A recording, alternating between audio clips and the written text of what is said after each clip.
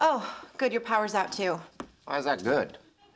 Because last month I sent the electric company a Starbucks gift card, an apology note, and a few snapshots of me in a bra. Too bad you're no longer entitled to the full benefits of my friendship, because I happen to be extremely prepared for such an emergency. Please try not to see anything by this light.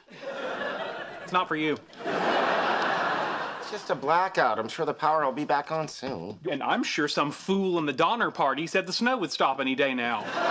I like to think they ate him first. Yeah, I got some candles in my apartment. But candles during a blackout? Are you mad? That's a fire hazard. No, Pasadena Water and Power recommends the far safer glow stick.